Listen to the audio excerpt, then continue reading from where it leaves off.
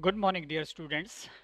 Today we shall start the first unit and the first chapter, Delhi Sultanate. आपके जो course कल हमने syllabus में डिस्कस किया था उस कोर्स का आज हम पहला चैप्टर शुरू करने जा रहे हैं और पहला जो चैप्टर है वो है दिल्ली सल्तनत जिसमें कि हम पढ़ेंगे foundation consolidation expansion and administrative reforms सबसे पहले बात करते हैं इंट्रोडक्शन की। मोहम्मद बिन कासिम ने 326 ईस्वी पूर्व भारत पर आक्रमण किया था और वो प्रथम आक्रमणकारी, अरब आक्रमणकारी भारत पर आक्रमण करने वाला था। उसके पश्चात महमूद गजनी ने निरंतर सत्रह आक्रमण भारत पर दसवीं और ग्यारहवीं शताब्दी में किए थे। लेकिन भारत में स्थायी मुस्लिम राज्य स्थापित करने का जो श्रेय है, वो मोहम्मद गौरी को जाता है। 1175 में मोहम्मद गौरी ने अपने विजय अभियान भारत के प्रति प्रारंभ किए थे, लेकिन अंतिम सफलता ग्यारह सौ बानवे ईस्वी में तराई के दूसरे युद्ध में उसे प्राप्त हुई थी, जब पृथ्वीराज चौहान को पराजित करके दिल्ली में उसने अपनी प्रशासनिक व्यवस्था स्थापित की थी। उसने अपने योग्य सेनापति कुतुबुद्दीन ऐबक को दिल्ली का सिपह सालार नियुक्त किया था और कुतुबुद्दीन ऐबक ने 1206 ईस्वी में मोहम्मद गौरी की मृत्यु के पश्चात यहाँ पर स्वयं शासन की सत्ता संभाली थी। अर्थात 1206 से 1210 ईस्वी तक कुतुबुद्दीन ऐबक ने शासन किया और कुतुबुद्दीन ऐबक दिल्ली सल्तनत का पहला शासक था, जिसने कि यहाँ पर वास्तविक मुस्लिम रूल प्रारंभ किया था, मुस्लिम राज्य स्थापित किया था। यहाँ पर जो दिल्ली सल्तनत है, दिल्ली सल्तनत की अगर हम बात करें तो दिल्ली सल्तनत ने लगभग 300 वर्षों तक शासन किया था 1206 से 1526 ईस्वी तक और इसमें कुल मिलाकर के पाँच राजवंश रहे थे। दिल्ली सल्तनत इस रूप में भी महत्वपूर्ण मानी जाती हैं क्योंकि यहाँ से मध्यकाल का प्रारंभ हुआ था। मध्यकाल जो भारतीय इतिहास का है, उसे यहाँ से प्रारंभ माना जाता है। यहाँ पर एक सभ्यता का ही परिवर्तन नहीं हुआ, बल्कि प्रशासनिक व्यवस्था, राजनीतिक व्यवस्था सामाजिक व्यवस्था, सांस्कृतिक व्यवस्था, आर्थिक व्यवस्था में भी कई आमूल चूल परिवर्तन हुए थे। यहाँ पर स्थापत्य कला के क्षेत्र में भी कई परिवर्तन हुए और साथ में यहाँ पर जो विदेशों के साथ संबंध थे, उन संबंधों में भी कई प्रकार के परिवर्तन तत्कालीन समय में दिल्ली सल्तनत के समय में आए थे। इसलिए यह भारतीय इतिहास में एक महत्वपूर्ण परिवर्तन माना जाता है। दिल्ली सल्तनत की स्थापना। अब बात करते हैं कि दिल्ली सल्तनत के इतिहास को जानने के हमारे पास क्या महत्वपूर्ण स्रोत है। वैसे तो इतिहास में आप पहले भी पढ़ चुके हैं कि दो प्रकार के स्रोत महत्वपूर्ण हैं, साहित्यिक स्रोत और पुरातात्विक स्रोत। पुरातात्विक स्रोत को हम प्राइमरी सोर्सेज भी कहते हैं। जिसमें कि हमारे पास सिक्के आते हैं, भवन आते हैं, स्मारक है, मस्जिद है, जेवर है, बर्तन है, औज़ार है, हथियार है, जीवाश्म और अन्य प्रकार के भी अवशेष जो है उसमें सम्मिलित किए जाते हैं। ये जो सल्तनत काल के समय में सोर्सेज प्राप्त हुए हैं, उन सोर्सेज को अवलोकन करके इतिहास को लिखने में जो है महत्वपूर्ण सहायता प्राप्त होती है। अब बात करते हैं साहित्यिक स्रोत की। साहित्यिक स्रोत में सबसे पहला नाम मैं यहाँ मेंशन कर रहा हूँ। आपकी जानकारी के लिए इसे एक्सप्लेन करने से पहले मैं ये बता दूँ कि जब भी हम किसी काल का इतिहास पढ़ रहे हैं और विशेष करके जब एक 300 वर्ष तक का इतिहास हमने स्टडी करना है तो यहाँ पर हमारे पास स्रोतों की जानकारी होना अत्यंत आवश्यक है। इसीलिए मैंने यहाँ पर जो साहित्यिक स्रोत है उसको थोड़ा सा संक्षिप्त में एक्सप्लेन करने का प्रयास किया है ताकि आपको इस चीज़ की जानकारी रहे कि दिल्ली सल्तनत के स्रोत को जानने के क्या महत्वपूर्ण जो स्रोत हमारे पास रहे हैं।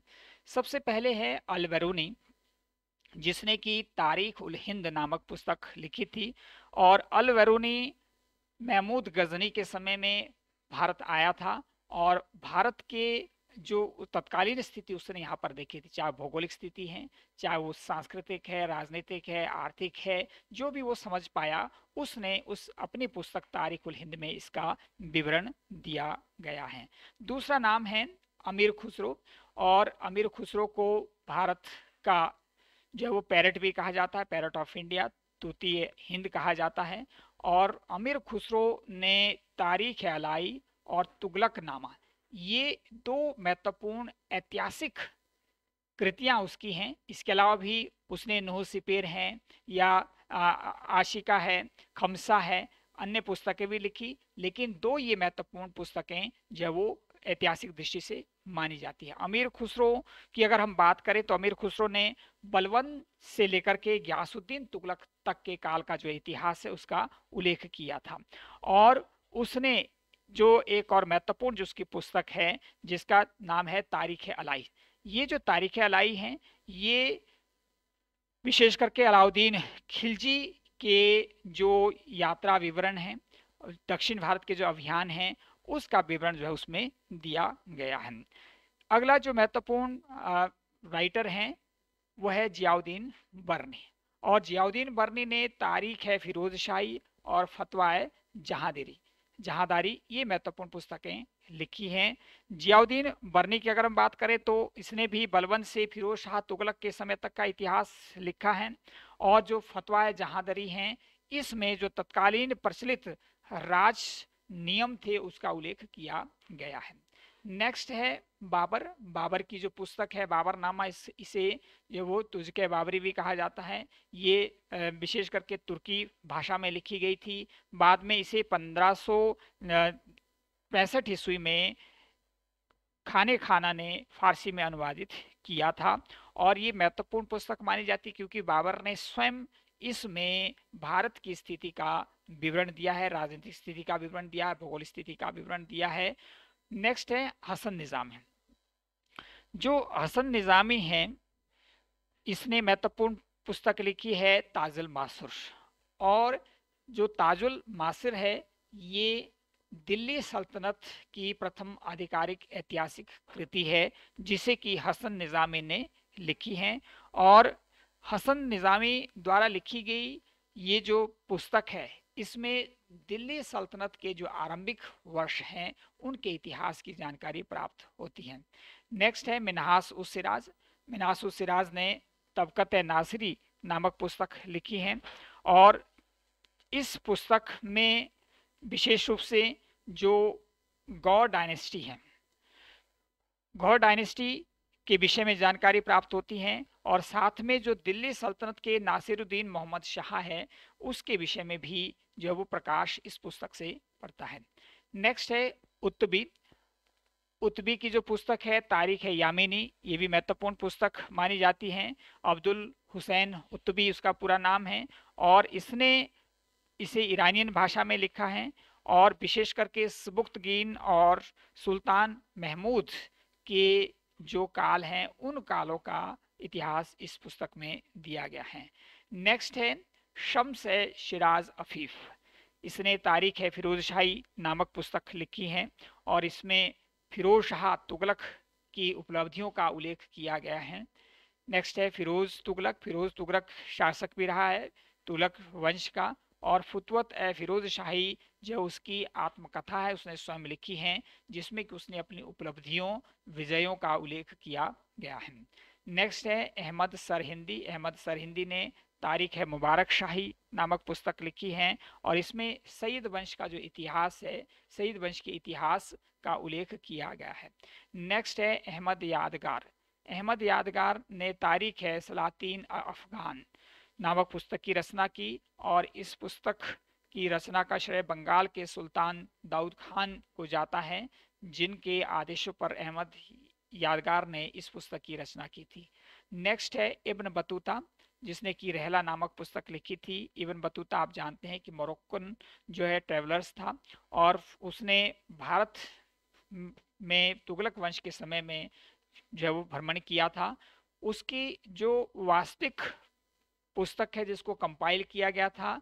उस पुस्तक का नाम है gift to those who contemplate the wonders of cities and marvelous of travelling है, जिसे कि रहला रहला का मतलब है यात्रा वृतांत, इसमें कंपाइल किया गया था।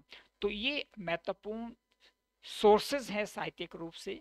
जिनका उल्लेख संक्षिप्त में मैंने यहाँ किया और ये महत्वपूर्ण इसलिए है क्योंकि आपको जब भी आप दिल्ली सल्तनत के इतिहास के विषय में लिखते हैं तो इन पुस्तकों को, इन लेखकों को, इन इतिहासकारों को कोट करने की आवश्यकता आपको पड़ेगी, इसलिए इसका जो उल्लेख यहाँ करना अत्यंत आवश्यक है।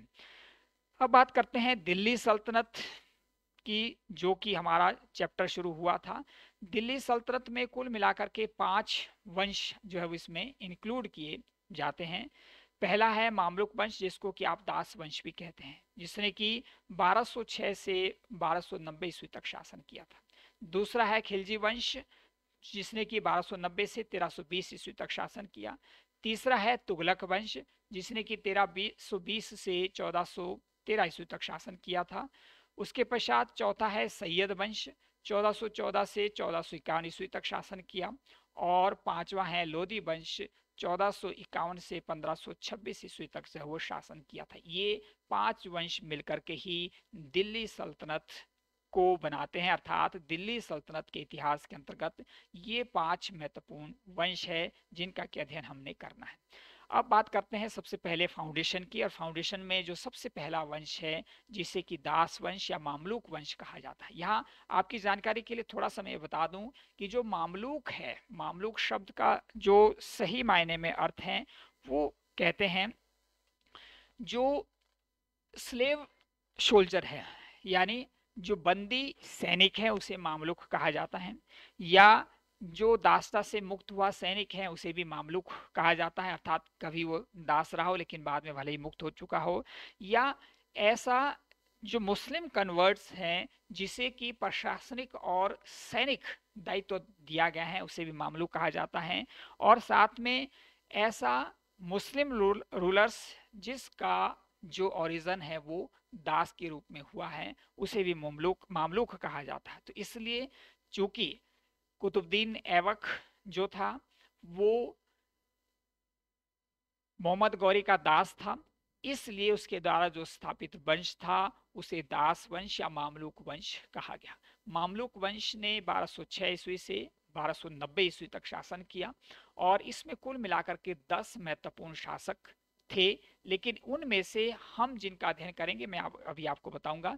सबसे पहले हम ये जानकारी प्राप्त कर लें कि कौन से दस शासक हैं जिनका अध्ययन जो है वो मामलुक वंश में किया जाता है या जो मामलुक वंश में सम्मिलित है। सबसे पहला है कुतुबुद्दीन ऐबक 1206 से 1210 दूसरा है आराम शाह 1210 से 1211 ईस्वी। तीसरा है शमसुद्दीन इल्तुतमिश 1211 से 1236 चौथा है रुकनुद्दीन फिरोज, जिसने कि अप्रैल से नवंबर 1236 में शासन किया। पांचवा है रजिया उल दीन, रजिया उल दीन, जिसे कि रजिया सुल्ताना भी कहा जाता है 1236 से 1240 ईस्वी तक शासन किया। नेक्स्ट जो है मोइजुद्दीन बहराम हैं 1240 से 1242 ईस्वी तक शासन किया। सातवां है अलाउद्दीन मसूद इसने 1242 से 1246 ईस्वी तक शासन किया। नेक्स्ट है नासिरुद्दीन महमूद 1246 से 1266 ईस्वी तक शासन किया और बलवन इसका जो है प्रधानमंत्री रहा। बलवन ने ही वास्तविक शक्तियों का उपयोग किया था। नेक्स्ट है यासुद्दीन बलवन ग्यासुद्दीन बलवन 1266 से बारह ईस्वी तक शासक रहा और अंतिम तथा दसवां जो मामलुक वंश का शासक था वो था मुइजुद्दीन मोहम्मद कैकुबाद बारह से 1290 ईस्वी तक शासन किया था। तो ये मामलुक वंश के दस शासक थे लेकिन इसमें हम विशेष रूप से जो अध्ययन कर, करना हमने विस्तार से हैं वो है कुतुबुद्दीन ऐबक शमसुद्दीन इल्तुतमिश रजिया सुल्ताना। इसके बाद बलवन। ये महत्वपूर्ण शासक थे, चार शासी, जिनमें की एक शासिका रजिया बेगम रही। इनका ही अध्ययन हमने विस्तार से करना है मामलुक वंश के अंतर्गत या दास वंश के अंतर्गत या उनकी उपलब्धियाँ हमने इसमें उल्लेखित करनी है कि किस प्रकार दिल्ली सल्तनत के फाउंडेशन में उन्होंने अपना योगदान दिया था। आज के लिए जो आपको असाइनमेंट मैं दे रहा हूँ, आपने क्या करना है? Explain the causes responsible for the establishment of Delhi Sultanat. अर्थात दिल्ली सल्तनत की स्थापना के लिए कौन से महत्वपूर्ण कारण उत्तरदायी थे? इनका संक्षिप्त में आपने जो है वो मुझे ग्रुप में, लिखित में, रिटर्न में रिस्पॉन्स देना है। So have a good time and have a nice day thank you